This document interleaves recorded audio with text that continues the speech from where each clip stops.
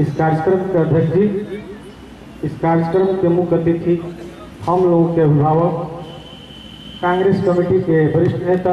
उसी तरह से मैं माननीय विजय शंकर दुबे जी से आग्रह करूँगा कि आपके नेतृत्व में बिहार में हर हर ज़िले में आंदोलन होना चाहिए। मजदूरों के नेता थे।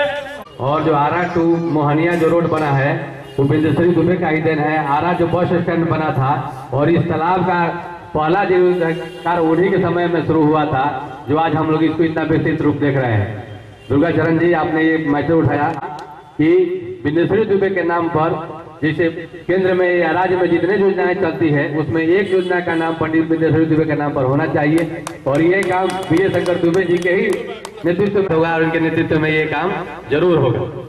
अब कार्यक्रम को आगे बढ़ाते हुए ससराम जिला से रोहतास से आए हुए रोहतास जिला कांग्रेस कमेटी के महासचिव जयप्रकाश पांडे जी से हम आग्रह करेंगे, आवे और अपनी बातों को